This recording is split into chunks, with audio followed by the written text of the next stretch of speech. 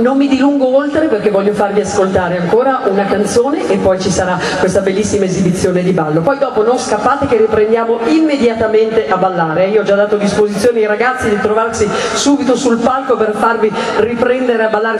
Attenzione, eh, guarda che bisogna tenerle in riga questi qua. Bene, la canzone che vi voglio presentare adesso è un brano che a me emoziona sempre tantissimo.